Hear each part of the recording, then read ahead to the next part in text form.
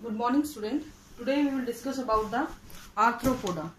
Arthropoda is the largest phylum of animal kingdom.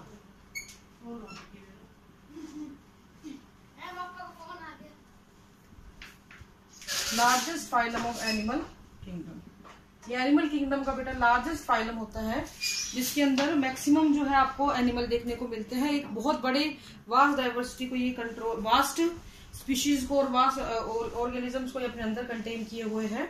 इस जो Arthropoda है इनकी जो स्पेसिफिक फीचर है दैट इज़ बेटा that is the presence of jointed appendage jointed appendages जो होते हैं it is the main characteristic feature of these arthropodas in arthropodas की मेन करेक्टरिस्टिक फीचर है ये।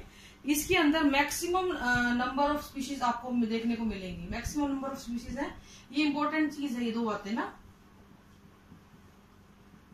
तो ये जॉइंटेड और अपेंडेज आर्थ्रो वर्ड का मतलब होता है बेटा जॉइंटेड और पोडा मीन्स अपेंडेज ये पोडा मीन्स फीट ठीक है? इस तरीके से ये अपने आपको दिखते हैं। ये पहले ऐसे फाइलम है जहाँ पे आपको कोई फ्लाई करता हुआ दिखेगा। तो फ्लाई फ्लाई जो है यहाँ पे फ्लाइंग जो है वो सबसे पहले यहाँ पे देखी गई थी। इंसेक्ट जो होते हैं वो फ्लाई करते हैं। ठीक है इंसेक्ट क्या करते हैं? फ्लाई करते हैं। ये चीज़ यहाँ पे देखी गई थी। उसके बाद क्या होता है? मैक्सिमम नंबर ऑफ़ स्पीशीज मैं बता चुकी आपको। अगर हम इसके ऑर्गेनिज्म की बात करें तो धरती पे मिलने वाले लगभग एक तिहाई ऑर्गेनिज्म जो है, इसके अंदर शामिल होते हैं। तो one third of the organism present in this phylum ठीक है? सबसे बड़ा फाइलम है, सबसे धरती के ऊपर मिलने वाले एक तिहाई ऑर्गेनिज्म इस फाइलम से रिलेटेड आप कर सकते हो। इस फाइलम से आप इसको बता सकते हो कि हाँ जी, यहाँ पे ये प्रेजेंट होते हैं, ठीक है? नेक्स्ट अगर हम इसके हैबिटेट की बात करें बेटा तो धरती पे लगभग सभी जगहों पे एक तो फ्री लिविंग है, ठीक है? टेरेस्ट्रियल भी होते हैं एक्वेटिक भी होते हैं एक्वेटिक में मराइन और सी दोनों मिलेंगे आपको। मराइन और फ्रेश वाटर दोनों जगह पे आपको ये मिल सकते हैं। पैरासिटिक भी इसको देखा गया है। पैरासिटिक भी इसको देखा गया है टेरेस्ट्रियल भी देखा गया इसके अलावा ग्रिगेरियस बिहेवियर में ग्रिगेरियस बिहेवियर को ये शो करते हैं। ग्रिगेरियस मतलब ये झुंड में भी चलते हैं। जैसे कि आपने अभी फ़िलहाल देखा होगा, टिड्डी दल आ रहा है। लोकस्ट टिड्डी दल बोलते हैं ना लोकस्ट ठीक है? उसका है ये। ग्रिगेरियस का एग्ज़ाम्पल है, झुंड में रहेंगे हमेशा, झुंड में चलते हैं। ठीक है, इसके अलावा सोलेटरी भी रहते हैं। अकेले भी रहना पसंद करते हैं कॉलोनियल भी रहते हैं। और कॉलोनियल में एक हाई कास्ट इनके अंदर मिलती है। कास्टिज्म कास्ट बनाते हैं ये। आप पढ़ के भी आए हो के अंदर। रानी मक्खी होती है, मेल होता है, ये सारी चीज़ें इसके अंदर देखी जाती हैं। ठीक है? इसके अलावा आर्थ्रोपोडा होते हैं, उनके अंदर पेरेंटल केयर देखने को मिलती है। ये बड़ी इंपॉर्टेंट चीज़ है। They show the parental care parental care यहाँ पे देखी जाती है। ऑर्गेनिज्म के द्वारा पेरेंटल केयर शो की जाती है। अपने बच्चों को पालना, जिसको आप बोल सकते हो, वो यहाँ पे बहुत बार देखा जाता है। अगर हम कुछ आर्थ्रोपोडा ऐसे भी है, बेटा, जो फॉसिल्स की फॉर्म में मिल रहे हैं। फॉसिल आर्थ्रोपोडा भी यहाँ प्रेजेंट है। जो ट्राइलोबाइट्स के अंदर आते हैं, ये आपको ध्यान रखना है, नीट में बहुत बार जाता है। ट्राइलोबाइट्स फॉसिल्स होते हैं ये बेटा लिविंग फॉसिल इनको बोला जाता है तो ये फॉसिल आर्थ्रोपोड्स आर्थ्रोपोड्स ठीक है? तो इस तरीके से जो है आपके मेन इसके फीचर्स हम देखने को बात, मिलता है। अगर हम इसकी बॉडी फॉर्म की बात करें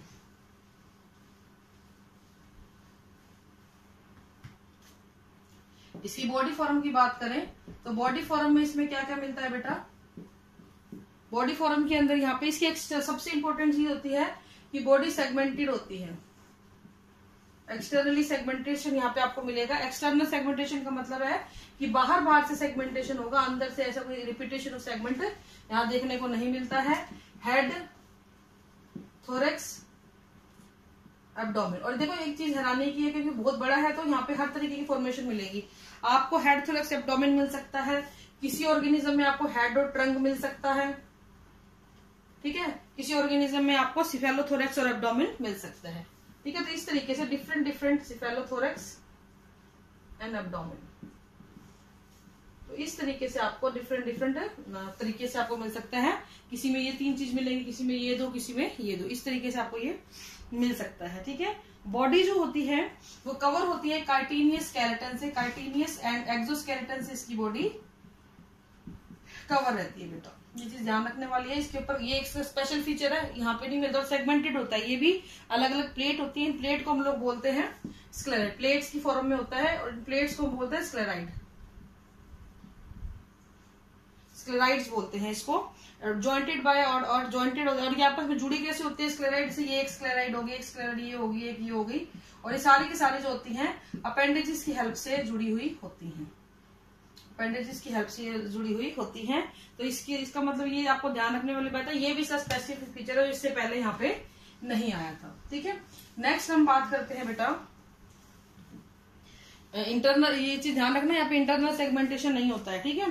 यहाँ पे अब हम बात करते हैं सिमिट्री की तो ये आपको पता है बायोलेटरल सिमिट्री है, वो पहले स्टार्ट हो चुकी है। तो बायोलेटरल सिमिट्री होती है ट्रिप्लोब्लास्टिक है एक्सो वीडो एंडो तीनों लेयर यहाँ पे, तीनों लेयर के ही द्वारा ये अपने आप को क्या करता है डेवलप करता है। अब यहाँ पे देखो हेड रीजन आना शुरू हो गया। हालाँकि हेड रीजन प्लेटे प्लेटियम से आना शुरू हो गया था सिफिलाइजेशन वहीं से आ गया था, लेकिन हेड रीजन यहाँ पे मेनली जो है, कुछ ऑर्गन्स को कंटेन करेगा। Like it have compound eyes और सिंपल आइज़ ठीक है एंटेना जो सेंसरी होते हैं एंटीना इसके ऊपर मिलते हैं आपको, इसके ऊपर वेल डेवलप सेल्स ऑर्गन होते हैं, ठीक है? हेड जो होता है, ये कई सारे फ्यूज सेगमेंट के फ्यूज होने से बनता है। तो हेड अकेला नहीं होता है कई सारे, जैसे आपका जो ये हेड है, ये जो स्कल होती है, बहुत सारी बोन से जुड़ के बनती है। इसी तरीके से इसका भी हेड जो है, वो बहुत सारी सेगमेंट के फ्यूजन होने से बनता है। कंपाउंड आईज जो होती है, बहुत सारे छोटे छोटे छोटे छोटे सेगमेंट से मिलकर बनी होती है। और इन हर एक सेगमेंट को बोलते हैं बेटा। और छोटे छोटे जो सिमिलर सेगमेंट होते हैं, इनसे मिलकर बनी होती है। इन सेगमेंट्स के द्वारा ही ये पूरी इमेज बनाई जाती है। हर इमेज हर सेगमेंट एक इमेज को करेगा और पूरी की पूरी इमेज को फॉर्म करेगा। तो हर इमेज हर जो एक किसी, एक ऑब्जेक्ट को अगर उन्हें देखना है ना तो सारे के सारे पार्ट मिलके एक इमेज को फॉर्म करते हैं। ये इमेज जो होती है आई आईज के अंदर ये बहुत ही छोटे से छोटे मूवमेंट को भी कैच कर सकती है, क्योंकि अलग अलग पार्ट जो है, वो मूवमेंट को चेक कर रहे होते हैं। अगर हम इसके अपेंडेजेस की बात करें तो मैं बता चुकी शुरू में आपको इट ऑफ़ ज्वाइंटेड अपेंडेज इसके पास ज्वाइंटेड अपेंडेज होते हैं, क्योंकि इसका नाम ही इसी बात में पड़ा arthro mean jointed appendage mean जो है ना कोडा मीन ज्वाइंट अपेंडेज अगर हम इनके फ़ंक्शन की बात करें तो बहुत सारे फ़ंक्शन होते हैं इसके। वॉकिंग के लिए फीडिंग के लिए, खाने, पीने, खाने के लिए, ठीक है? फिर इसके बाद हम बात करते हैं स्विमिंग के लिए, साइफनिंग के लिए, स्पॉन्जिंग के लिए, लैपिंग के लिए तो बहुत सारे काम है ये जो इसके द्वारा किए जाते हैं। पॉपुलेशन के लिए डिफेंस के लिए पॉपुलेशन में भी हेल्प करते हैं इसके अपेंडेजेस और डिफेंस के लिए भी हेल्प करते हैं इसके अपेंडेजेस तो इस तरीके से इसके बहुत सारे काम होते हैं। लेयर के बारे में हम बता चुके हैं ट्रिप्लोब्लास्टिक होती है। बॉडी वॉल की अगर हम बात करें तो आउटर क्यूटिकल लेयर और इनर एपिडर्मिस ठीक है? ये ध्यान रखना है, ये किसकी बनी होती है? काइटीनियस होती है और एक्सोस्केलेटन की तरह पे अपने आप को शो करती है। एक्सोस्केलेटन यहाँ पे आपको देखने को मिलेगा। ठीक है, एक चीज़ ध्यान रखना, क्योंकि कार्टेनियस ये जो है वो काफ़ी हार्ड होता है तो ये ऑर्गेनिज्म की ग्रोथ को रिस्ट्रिक्ट करता है, इसलिए इसका बार बार शेडिंग होती है। ऑर्गेनिज्म को अगर ग्रोथ करना है तो इसका शेड और होना बहुत ज़रूरी तो कार्टेनियस जो स्केलेट बाहर का जो स्केलेटन है, इसको टाइम टू टाइम स्केलेटल को शेड आउट किया जाएगा। मोल्टिंग इसको हम बोलते हैं मोल्टिंग एक डायसिस भी बोल देते हैं। और ये दोनों की दोनों चीज़ें जो है हार्मोनल कंट्रोल है। तो ये चीज़ ध्यान रखना कि आर्थ्रोप्रोड्स में हॉर्मोन्स फीरोमोन्स वगैरह भी आने शुरू हो जाते हैं। यहाँ पे मसल्स जो होती है, वो पैचेज में मिलती है कॉन्टिन्यूस लेयर नहीं बनाती है। ये चीज़ ध्यान रखने वाली है कि मसल जो होती है कॉन्टिन्यूस लेयर का फॉर्मेशन यहाँ पे नहीं करती है। ये ऑर्गन्स के आसपास प्रेजेंट होती है और छोटे छोटे पैचेज के अंदर आपको देखने को मिलती है। ठीक है? अगर हम लोग बात करें इसके मूवमेंट की तो पर्टिकुलर ऑर्गन को मूवमेंट करने के लिए उससे जुड़ी हुई होती है। मसल्स होती कैसी है बेटा? यहाँ पे स्ट्रेटेड मसल होती है। ये कई बार पूछा गया नीट में कि आर्थोपोडस की जो मसल्स है वो कैसे हैं? तो स्ट्रेटेड मसल्स यहाँ पे आपको देखने को मिल जाती हैं। यहाँ पे ट्रू सिलोम पाई जाएगी, ठीक है? If we are talking about the digestive system of the digestive system किसकी हम बात करें तो बेटा ये कंप्लीट डाइजेस्टिव सिस्टम होता है यहाँ पे। माउथ विद एनस ठीक है? माउथ भी होगा और एनस भी यहाँ पे होता है। यहाँ पे स्ट्रेटेड मसल पाई जाती है। ये चीज़ इंपॉर्टेंट है कि इसकी इसकी बॉडी वॉल के अंदर जो एलिमेंट्री किनाल है, वहाँ पे भी मसल्स की प्रेजेंस यहाँ पर देखी जाती है। इसके तीन डिस्टिंक्ट रीजन होते हैं स्टोमोडियम मिजेंट्रॉन प्रोक्टोडियम ठीक है? तो ये सबसे आगे वाला, ये बीच वाला, ये बीच बीच वाला रीजन होता है। मिजेंट्रोन जो होता है, ये जो होता है एंडोडर्मिस एंडोडर्मिस से लाइंड होता है। मतलब ये दोनों एपिडर्मिस से लाइंड होते हैं और क्यूटिकल से लाइंड होते हैं, ठीक है? इसके अलावा यहाँ पे बहुत सारे क्रॉप भी मिलती है गिजार्ड भी मिलता है, ठीक है? क्रॉप मिलेगी गिजार्ड मिलेगा। इसके अलावा यहाँ पे इंटेस्टाइन भी मिलती है। लार्ज इंटेस्टाइन होती है। लार्ज इंटेस्टाइन यहाँ पे देखने को मिल जाती है। लार्ज इंटेस्टाइन जो होती है, वो तीन पार्ट में डिवाइड होती है। फोरगट मिडगट हाइंडगट ठीक है? तो ये तीन इसके पार्ट हो सकते हैं। फोरगट मिडगट और हाइंडगट ओके नेक्स्ट अगर हम बात करें इसके माउथ में सलाइवरी ग्लैंड्स का प्रेजेंस देखी गई है। क्रॉप की अगर हम बात करें तो ये स्टोरेज का काम करती है। गिजर्ड की हम बात करें तो ये क्रशिंग और ग्राइंडिंग का काम करती है। स्टोरेज का काम करेगी क्रशिंग ग्राइंडिंग का काम करती है। ठीक है? मिजेंट्रॉन की बात करें तो ये डाइजेशन और एब्जॉर्प्शन का काम करती है। डाइजेशन और एब्जॉर्प्शन का काम करेगी ये। मिडगट और हिंडगट की बात करें। एक चीज़ ध्यान रखना, यहाँ पे क्वेश्चन आता है मिडगट और हिंडगट के जॉइंट के ऊपर आपको हिपैटिक सीका देखने को मिलते हैं। Hepatic caeca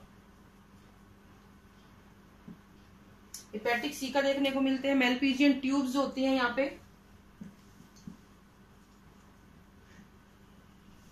hepatic caeca sorry यहाँ नहीं मिलते हैं। ये जो है, ये क्या करते हैं बेटा? ये डाइजेस्टिव एंजाइम्स को रिलीज़ करते हैं। ठीक है हिपैटिक सीका जो है डाइजेशन में हेल्प करेंगे। इसके अलावा यहाँ पे इलियम, कॉलर और रेक्टम, इनकी भी प्रेजेंस देखी गई है। ठीक है? तो ये आज के लिए इतना ही है। बाकी सेकंड पार्ट में करेंगे। Thank you have a nice day